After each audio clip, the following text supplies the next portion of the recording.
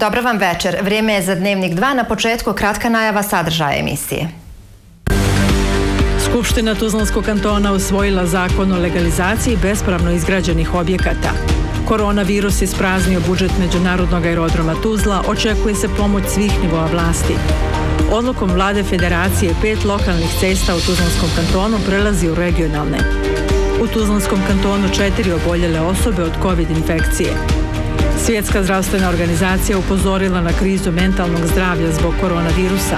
Stanje u Tuzlanskom kantonu za dnevni komentira neuropsihijatar docent dr. Elvir Bećirović. Gradska uprava Srebrenika pomaže privrednike sa 532.000 maraka.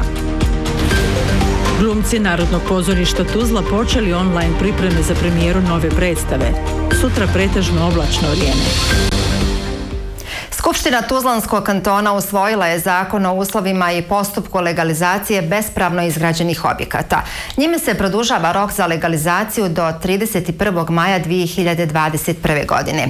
Zakon stupa na snagu 8 dana od dana objavljivanja u službenim novinama Tuzlanskog kantona, nakon čega će vlasnici bespravno izgrađenih građevina imati mogućnost ponovnog podnošenja zahtjeva za legalizaciju svojih objekata. Kao osnov za legalizaciju koristit će se ortodoksija ortofoto snimak Federacije Bosne i Hercegovine iz 2018. godine. Uslov legalizacije objekta je vidljivost na ovom snimku. Zakon o uslovima i postupku bespravno izgrađenih objekata nije previše promijenjen mijenja se u samo jednom članu kojim se produžava rok za podnošenje zahtjeva za legalizaciju. Rok je prvobitno predviđao 31. maj 2019. godine, a sada je produžen do 31. maja 2021. godine. Suština bit ovog zakona, odnosno izmjena i odnosno ove odredbi, jeste upravo da se omogući onim korisnicima, odnosno onim vlasnicima jeli, bespravno izgrađenih građevina da mogu podnijeti zahtjev za legalizaciju, čim bi oni jeli, svoje objekte legalizirali u smislu da bi evo konačnici dobili odobrenje za građenje, dobili dobili upotrebne dozvole te svoje objekte, a opet isti u konačnici jeli, upisali u zemljišne knjige. Od kraja maja, kada je istekao prvobitni rok za podnošenje zahtjeva, Ministarstvo prostornog uređenja i zaštite okolice primilo je veliki broj zahtjeva fizičkih lica. Razlog tome je nemogućnost vlasnika nekretnina da podnesu zahtjeve za legalizaciju. Novim izmjenama zakona kao osnov znači za je legalizaciju uzeti, uzeti ortofoto snimak Federacije 2018. godine. Znači jedna e, čista verzija snimka odnosno na prethodni period kada su korišteni satelitski snimci Tuzlavskog kantona. Na tim snimcima, satelitskim snimcima Tuzlavskog kantona e, određeni dijelovi područja našeg kantona su u suštini bili zamagljeni, jer u trenutku kada je snimano, eh, bili su loše vremenski uslovi, tako da se baš i te građevine koji bi trebali biti legaliziran, a uslov znači da bi se podnio zate, odnosno da bi se legalizirao objekat, jeste da se taj objekat vidi znači na tom snimku. U Tudlanskom kantonu trenutno je procesu 36.000 postupaka za legalizaciju izgrađenih objekata. Zbog mjera zabrane koje su izrekli krizni štabovi i privremenog zatvaranja međunarodnih graničnih prijelaza u vazdušnom saobraćaju, Međunarodni aerodrom Tuzla je obustavio rad. Uzrakovalo je to ogromne gubitke. Osim njihovog pokrivanja, potrebno se prilagoditi brojnim propisima koje se avio saobraćaju diktiraju u vrijeme pandemije koronavirusa.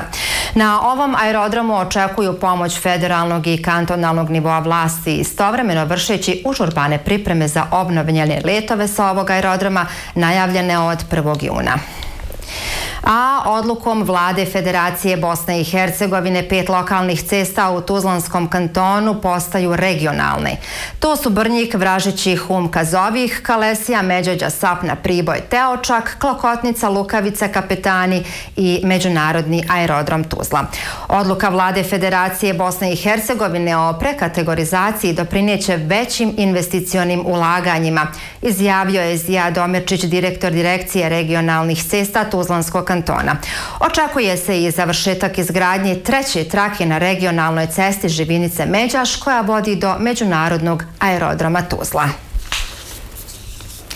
Bosna i Hercegovina je definitivno uspjela izbjeći eksponencijalni rast broja oboljelih od COVID-19. Stabilna epidemiološka situacija doprinjela je tome da veću pažnju građana privlače nove, ukinute ili ublažene mjere nego broj novozaraženih. Nema novozaraženih u Tuzlanskom kantonu, potvrdili su nam u kantonalnom kriznom štabu Ministarstva za zdravstvo. U Bosni i Hercegovini su prema posljednjim podacima registrovana 2286 slučajeva zaraze koronavirusom. Oporavljenih je 1336 te 131 smrtni slučaj. Od ovog broja zaraženih tek nešto više od 1000 slučajeva je u Federaciji Bosne i Hercegovine. 782 osobe su u većem BH entitetu do sada uspješno oporavljene, pa epidemiološku situaciju možemo nazvati stabilnom. Posljednji podaci o testiranjima na području Tuzlanskog kantona dodatno raduju. Kod 224 urađena testiranja nema novih pozitivnih slučajeva. Broj aktivnih ostaje četiri, a samo jedna osoba je na bolničkom liječenju. Inače, u našem kantonu je do sada testirano blizu 7000 osoba, dok u kućnoj izolaciji imamo više od 1500 građana. Jutros je prema podacima sa kantonalnog nivoa prijavljen jedan novozaraženi u kantonu Sarajevo. Situacija je nešto složenija u Republici Srpskoj, gdje se svakog dana zabilježe deseci novih slučajeva COVID-19 kao i novi smrtni slučajevi. Krizni štabovi posljednjih dana uglavnom pokušavaju odgovoriti na brojna pitanja koja se odnose na aktuelne mjere. Djelimično ili potpuno ukidanje pojedinih mjera ne amnestira nas od mnogih koje su još na snazi. Tako podsjećamo da je još uvijek na snazi naredba građanima za obavezno korištenje maske i poštivanje fizičke distance od najmanje 2 metra na javnim površinama i zatvorenim javnim objektima na području federacije. Javni skupovi još nisu dopušteni, ali je dozvoljeno javno okupljanje u zatvorenom prostoru uz osiguranje 10 metara kvadratnih po jednoj osobi. Do 30. maja ostaje na snazi i privremena obustava pružanja usluga za javne bazene i kupališta.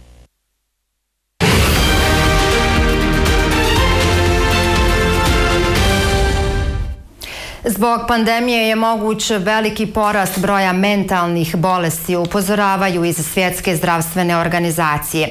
Smatraju da bi vlade ovo pitanje trebale staviti u središte svog odgovora. Psiholozi i pedagozi navode da je zabilježen porast broja anksioznih i depresivnih u više zemalja.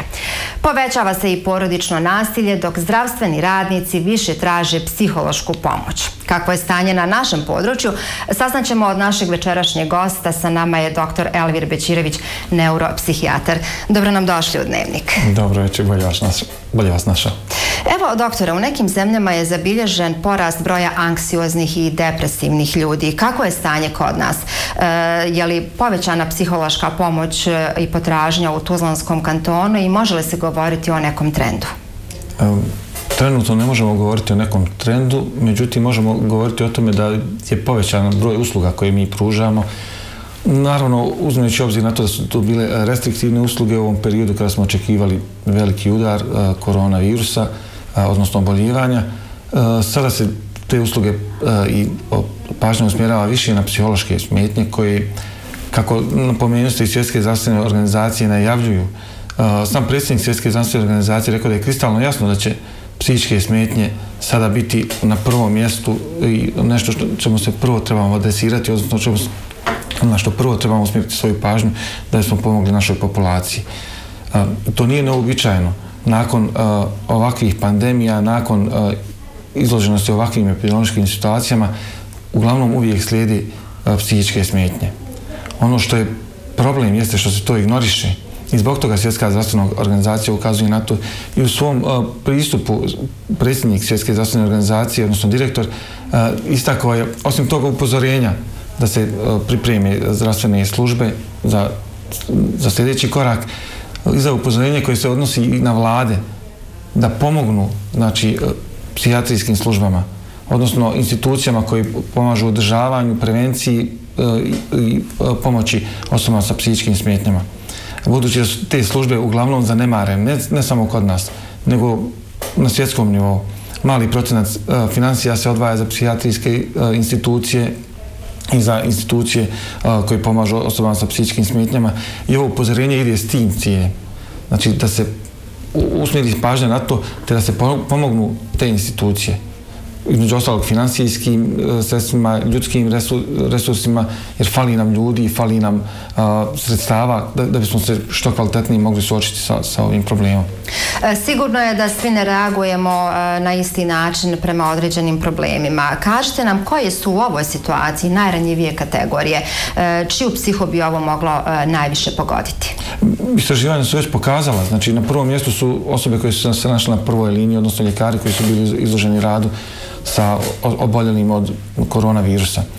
Posle njih tu dolaze znači, osobe starije dobne skupine, koji su u najvećem riziku od teškog oblika uh, COVID-19, uh, te pored njih znači, izložene su djeca i adolescenti uh, i žene se smatraju rizičnom skupinom za obolivanje psihičkih smetnji nakon suočavanja s ovim, s ovim problemom.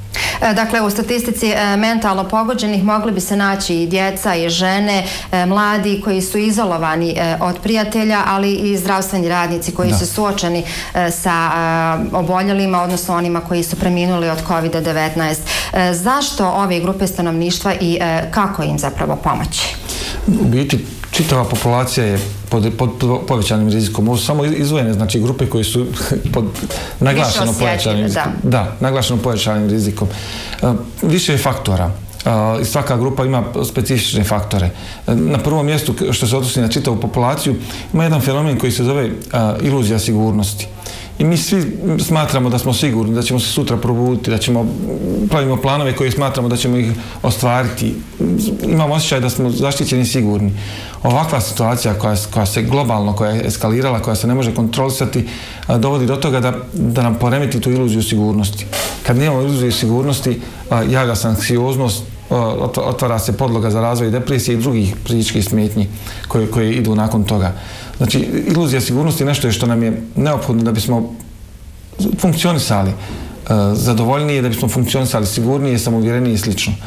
Pošto je ovakva epidemiološka situacija, odnosno COVID-19, e, poremetila čitavu tu naš, naš osjećaj sigurnosti, otvorio vrata za razvoj različitih e, psihičkih smetnji. E, zašto se to javlja kod, u ovim e, grupama najizraženije? E, kod ljekara je to zbog toga što su bili izloženi suočavanju sa oboljelima od, od COVID-19, povećanom riziku da se sami inficiraju, oboli, pa i smrtnom ishodu, zabrinutosti zbog promjene smjena, načina i režima rada, što dovodi do iscrpljenosti, što ponovo povećava mogućnost od inficiranja, opasnost od mogućih stigmatizacije. Znate, osobe koje, su, koje obole, bez obzira na to kojim se poslom bave, um, mogu doživjeti izraženu stigmatizaciju. Zato je onaj aplauz koji, koji je išao bio je značajan a, da bi se da bismo shvatili da ljudi razumiju naš posao i da, i da, da cijeni to što se mi izlažemo toj situaciji. Stari, stare osobe su izražene samim svojim do, pripadanjem dobnoj skupini zbog povećane opasnosti, znači od obolijevanja i od, od, od teškog oblika obolijevanja s jedne strane, s druge strane što su oni bili izloženi izolaciji. Pogotovo zbog toga što se slabije koriste a, dostupnim tehničkim sredstvima da bi, da bi mogli ostvarivati a, komunikaciju online, a, velika izolacija, zabrana izlaska, velika kontrola, sve to plus njihova nesigurnost zbog sami, sami, sami do, dobi koje imaju, e, doprinila je povećanom riziku za njih. Djeca i adolescenti, naravno, njihov način funkcionisanja je potpuno poremećen. Istraživanja su pokazala uh, u Italiji i Španiji da veliki broj djece uh, imaju različite vrste uh, smetnje od uh, uz, povećane uznemirenosti, povećanog nemira do anksioznosti, pa čak i do depresivnih stanja.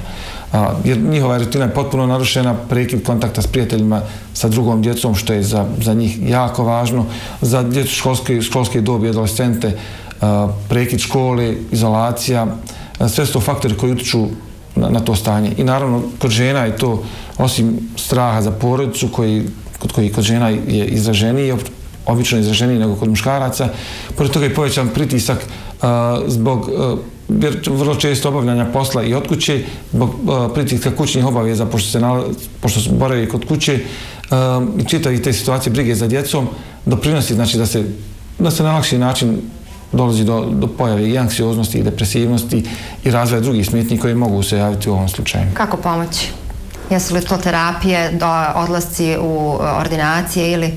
Uh, zavisi, kao što ste malo prije rekli, sve individualno.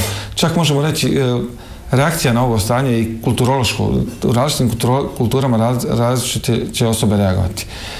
I što se tiče pomoći, ovo upozorenje Svjetske zdravstvene organizacije ide, ide u tom smjeru, znači da se sistematski pristupi tome, da se otvore linije za podršku, bilo psihosocijalnu podršku, bilo dolaza koordinaciju i propisivanje terapije, da se skine stigma sa psihičkih oboljenja, jer često ljudi zbog stigme se ne javljaju, iako a, pate, Ehm, mentalno zdravlje je neophodno za kvalitet života. Mnogi ljudi pate i trpe, ne javljaju se na prava mjesta da bi, da bi razriješili tu situaciju da bi živjeli kvalitetni život. Znači ono što mi možemo učiniti jeste znači, a, sistemski pristupiti tome, a, važno je, često se spominje, a, jasnoća i transparentnost u pristupu prema ovom problemu, jer ljudi se plaše bolesti, da se jasno zna šta i kako je. U našem kantonu situacija je poprilično stabilna, zadovoljavajuća, zahvaljujući mjerama koje su poduzete. I mi se dosta dobro nosimo s tim. Sada valja preduzeti mjere da bismo se isto tako nosili sa odnosno čak prevenirali a, moguću situaciju a, eskalacije a, psihičkih oboljenja.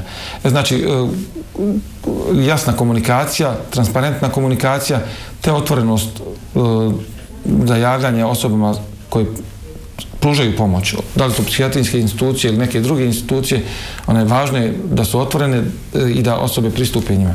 E, mnoga je posljedica pandemije i izolacije, gotovo da nema segmente života koji nije pogođen e, u, i to u velikoj mjeri. I sama porodica kao osnovna ćelija društva je pogođena, evidentan je i e, porast nasilja u porodicama. Izvještaj govore o porastu nasilja u porodicama, svjetska zdravstvena organizacija daje uh, procjene da bi moglo biti od 30 do 40 miliona uh, više prijava uh, nasilja u porodicama nego što je, ukoliko se izolacija produži, nego što je bilo u prethodnim periodima.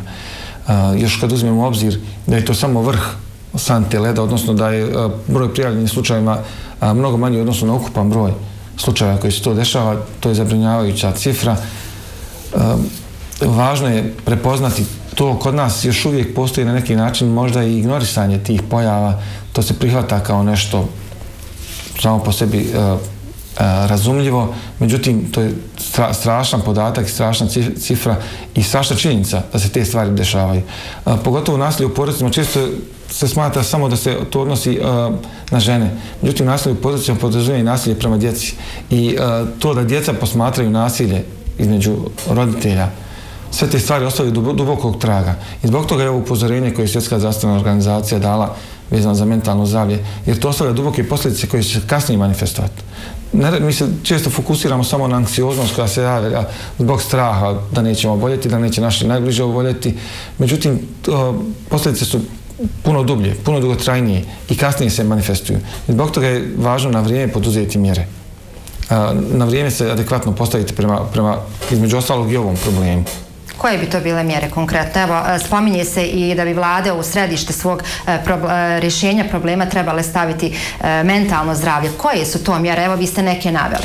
Šta je to konkretno što bi se trebalo sad uraditi? Hvala vam. Znači, upozorenje ide i prema vladama, da smo prema znanstvenim institucijama, da se obrati pažnja znači na mentalno zdravlje, na osobe koji rade u oblasti mentalnog zdravlja, da se financijski pomognu, da se ljudskim resursima pomognu. Mi nemamo dovoljno ljudi ukoliko krene eskalacija, falit će nam ljudi koji će moći adekvatno pomoći, prušiti adekvatnu pomoć i podršku osobama koji su u problemu. A, I zbog toga je ne, neobično važno, znači izuzetno važno, da vlade, da a, oni koji upravljaju a, resursima, koji upravljaju, odlu, donose od, odluke vezano za zdravstveno, zdravstveni tretman i pristup, da obrate pažnju na institucije mentalnog zdravlja, kojima je neophodna podrška, ostvarujući na taj način mogućnost da osobe koji su, da mi uposlenici u mentalnom zdravlju, pružimo a, podršku i osim toga da uradimo prevenciju poput e, prevencije stupanja u vašim emisijama, poput prevencije jasnog a, iznošenja mogućnosti i načina tretmana. Poput smirivanja situacije jasnim i transparentnim informacijama o tome šta se može očekivati, šta je realno, šta je objektivno, šta je nerealno. Jer kad nemamo jasan pristup, transparentan pristup, kao i u, u, po pitanju same infekcije koronavirusom, onda postoje razne dezinformacije. I kad postoje dezinformacije, ljudi postaju uznemireniji. Znači, važne su jasne informacije, transparentan pristup i otvorenost sistema. Evo još jedno pitanje za kraj, imamo još mnogo vremena. Čelnica Odjeljenja za mentalno zdravlje Svjetske zdravstvene organizacije je istakla jednu vrlo značajnu formulaciju kada je upozoravala, a to je intenzitet mentalnih bolesti. Šta to znači? Jesu li to neka opasnija mentalna stanja? Um, intenzitet znači većina bolesti uh, može biti u blagom obliku, srednje teškom i teškom obliku. I to je čak i u našim klasifikacijama tako podijeljeno. Znači, nije isto kad neko je depresivan, ima blagi oblik depresije, ima teški oblik depresije.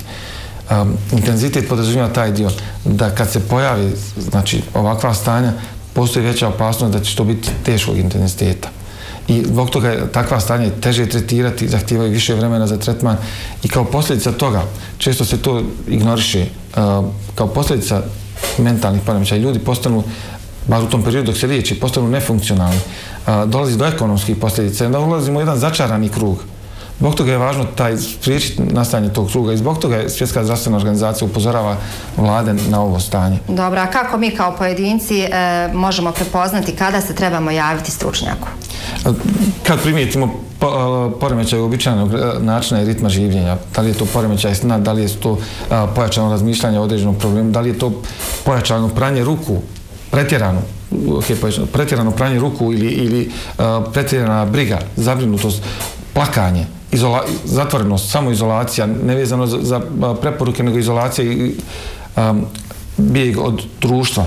Znači, različiti su ti faktori ovisno od, od situacije. E, znači, svaka promjena od običajnog načina življenja i funkcionisanja je znak upozorenja. Ne mora znači da se moramo javiti psihijatru, međutim, znak je da da se raspitamo o tome. Jeste, jeste, da pitamo svog ljekara poručne medicine ili nekog koga znamo ko se ko je u oblasti zdravstva, da li, se, da li trebamo preduzeti sljedeći korak ili ne.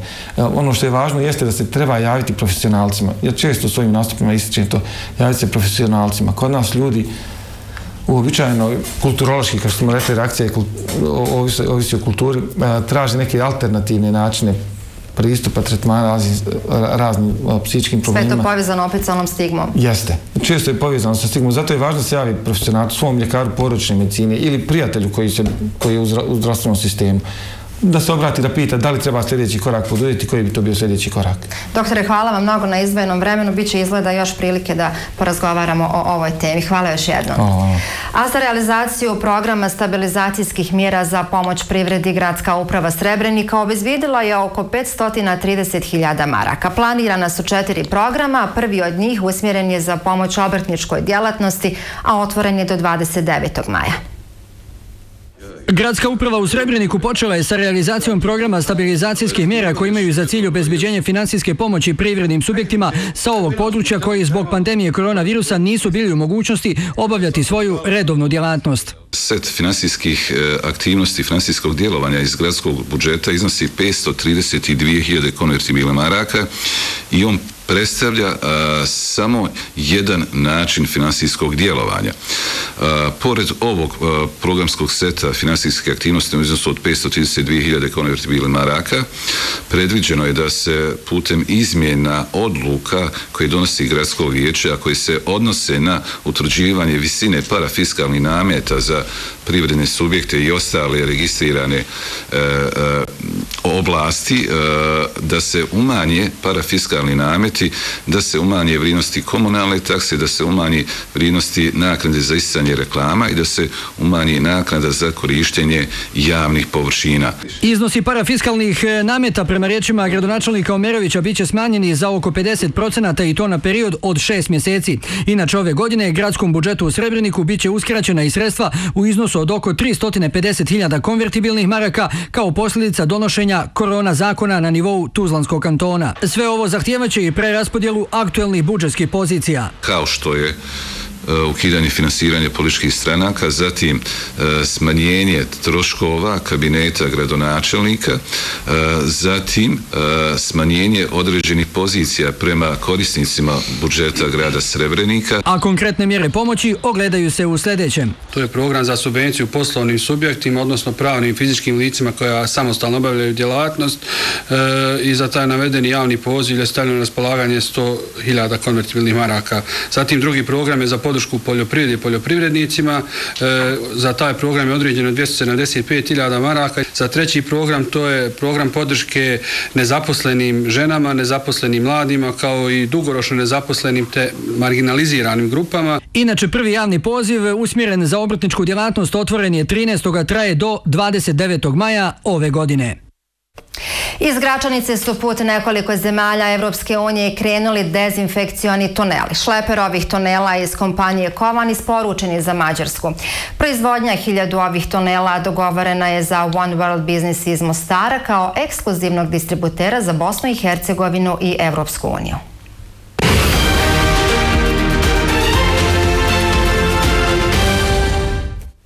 A usled pandemije obustavljen je radi svih institucija kulture. Da kreativnost umjetnika i u najtežim trenucima nije moguće zaustaviti, pokazali su glumci Narodnog pozorišta Tuzla sa šaljivim TV i online serijalom. Narodno pozorište Tuzla počelo je sa održavanjem online proba za predstavu Čarlijeva tetka Tomasa Brendona. Glumac koji je već dugi niz godina dio scene Narodnog pozorišta u Tuzli, a i lik kojeg smo mnogo puta gledali na malim ekranima je Mithat Košljugić. U vrijeme pandemije onemogućen je rad pozorišta. Da kreativnost nema granicu je i primjer angažmana grupe profesionalaca koji su uprko s teškom vremenu uspjeli da održe kontinuitet u svome radu kroz zanimljive dnevne priče iz izolacije. Radi se o dnevnim pričama i to je igrani program koji smo radili u doba korone na temu korone uh, i mislim da smo jedini u, u regionu. Ne mislim, nego znam da smo jedini u regionu, a možda čak i u svijetu, eto nek ne, me neko demantira, pa nek kaže da su i oni neke slične stvari uradili. Naravno, uz poštovanje svih uh, mjera i zaštite i onih mjera koje su propisane, uspjeli smo na, napraviti jedan, jednu organizacijnu strukturu vezano za ti, sa tim i upotrijebiti naše i glumačke, i scenarističke, rediteljske, kostimografske, scenografske ovaj, potencijale. Ove šaljive epizode možete pogledati na YouTube stranci Narodnog pozorišta. Osim dnevnih priča Narodno pozorište Tuzla, održava online probe za predstavu Čarlijeva tetka Tomasa Brendona. Mi u ovom trenutku radimo uh, čitaće probe, probe za stolom, odnosno za stolovima, konferencijski, dakle svako iz, iz svoje kuće uvezani smo ovaj, uh, ovim modernim aplikacijama. Nadamo se da ćemo uskoro doći na scenu. Osim ova dva projekta, nakon popuštanja mjera možemo očekivati nastavak martovskog bogatog repertoara. Naravno, bit će i, i nova predstava. A, čini mi se da se radi, nisam baš najdetaljnije upućena da se radi još jedna predstava na ovaj sličan način na koji sam rekao, tako da E, imat će šta tuzlanska publika ovaj, vidjeti. Iako rada ne nedostaje za one koji su kreativni, ono što najviše nedostaje glumcima je direktni kontakt sa publikom. Iako je epidemiološka situacija u Tuzlanskom povoljna, nije vrijeme za opuštanje. Poštujte naredbe i preporuke kriznih štabova, držite fizičku distancu, perite često ruke i nosite maske. Preporučujemo također e, vama poštovani gledaoci da ostanete uz program radio televizije Tuzlanskog kantona, slijedi nastavak Ramazanskog programa. Hvala vam za pažnju.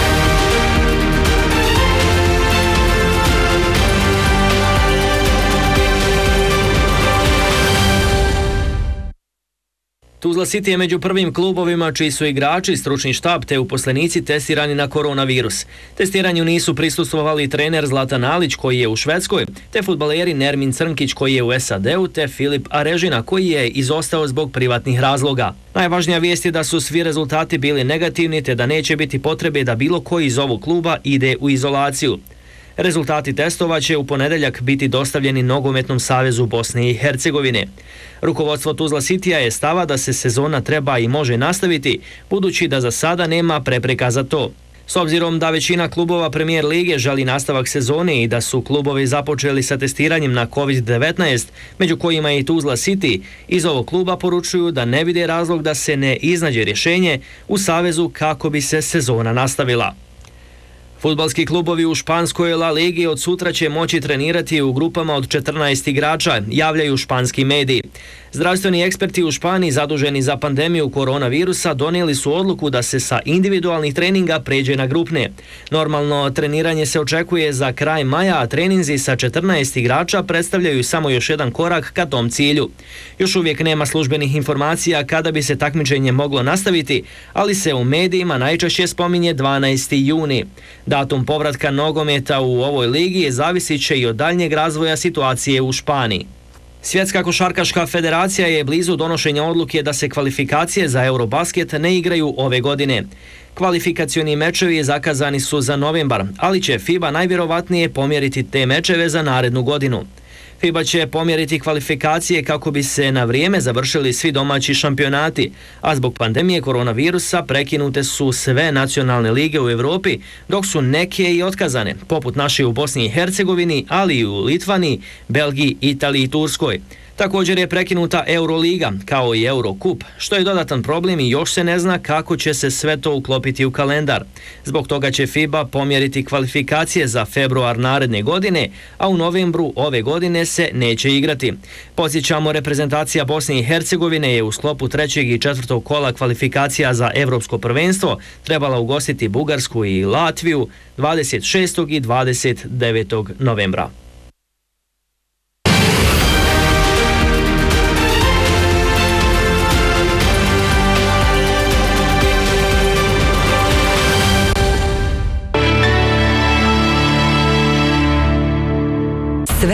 Što vam je u životu vrijedno mora biti sigurno. Brčko gas, osiguranje.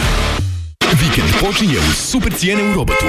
Ćevapi pljeskavice 1 kg sjajnih 7,45. Svježa salata 1 kg samo 0,85. Maslac Milram 250 grama 2,95. Hrenovka Polo 1 kg 3,50. Napolitanka Eurovafel 200 grama 0,95. Uvijek uz vas. Vaš robot.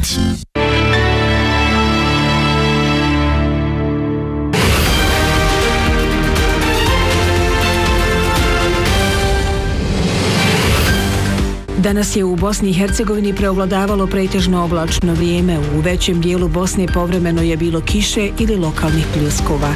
Vjetar je bio slab do umjeren, zapadni i sjeverozapadni. Dnevna temperatura kretala se od 23 do 29, na jugu zemlje do 31 stepena. Sutra nas očekuje pretežno oblačno vrijeme. Slaba kiša ili lokalni pljuskovi su mogući ponegdje u centralnim i istočnim područjima Bosne. Jutarnja temperatura kreteće se od 12 do 18, na jugu do 22, a dnevna od 23 do 29, na jugu do 32 stepena.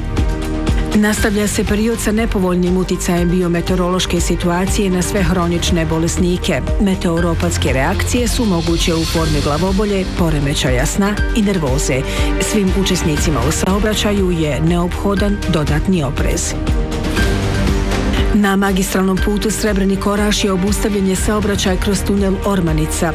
Sva vozila iz pravca Tuzla i Srebrenika preusmjerena su obilaznicom u neposrednoj blizini tunela, dok su vozila iz pravca Orašja i Gradačca preusmjerena na alternativni pravac Raskrsnica Ormanica, Raskrsnica Vučkovci, Srnice Bukva, regionalni put prema Srebreniku.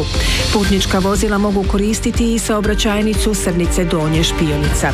Zbog radova je izmijenjen ili usporen sa saobraćaj i na putevima Donji Vakov Turbe, dionici autoputa A1 Visoko Kakanj, na magistralnom putu Kladen Tuzla u mjestu Vitalj, te na magistralnim putevima Doboj Derventa i Zenica Nemila. Na graničnim prijelazima nema dužih zadržavanja. Apelujemo na vozače da voze opreznije i da se obavezno pridržavaju mjera zaštite od koronavirusa.